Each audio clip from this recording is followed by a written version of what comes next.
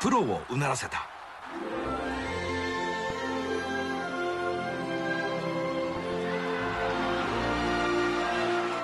スピーディーで正確なスローイングが秀則を何度もヒーローにした。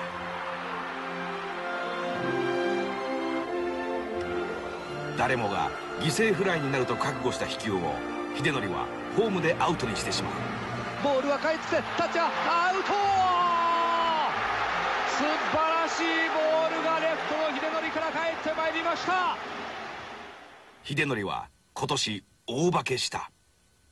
そうですね。はい。おっしゃる通りです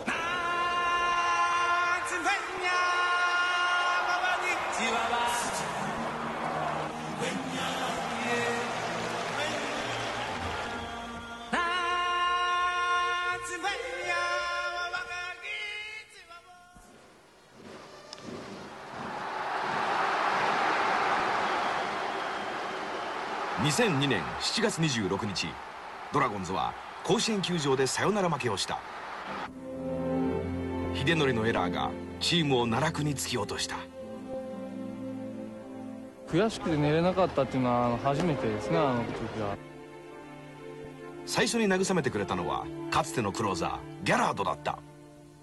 まず帰りのバスでギャラードが顔を上げろっていうことを言われて励まされて。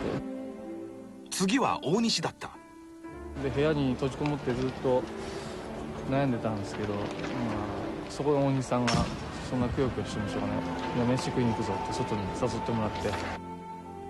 大西はその日のことを覚えているだろうか？まあ覚えてないって言ったら嘘になりますよね、はい、そうって思うね。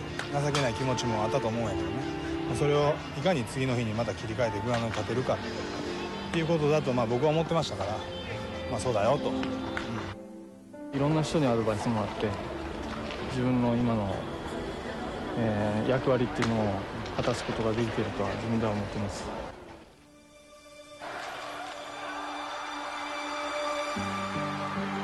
一つのエラーが秀則を大きくした。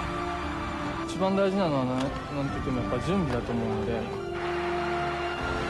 どんな打球が飛んでくるのかどんなゴロなのか秀則は予測し準備するという。自分のあの予測できる想像できる範囲、えー、数多くするようにはしています。その時の集中力は凄まじい。グローブの、えー、刺繍の一点をずっと見つめて集中して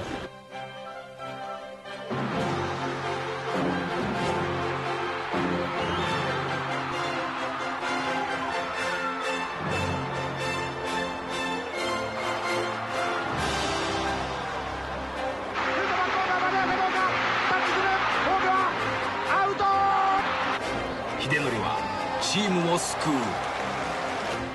ボールを取りました三塁ランナーほどですからタッチアップをしてくる。ボールは返ってタッチはアウト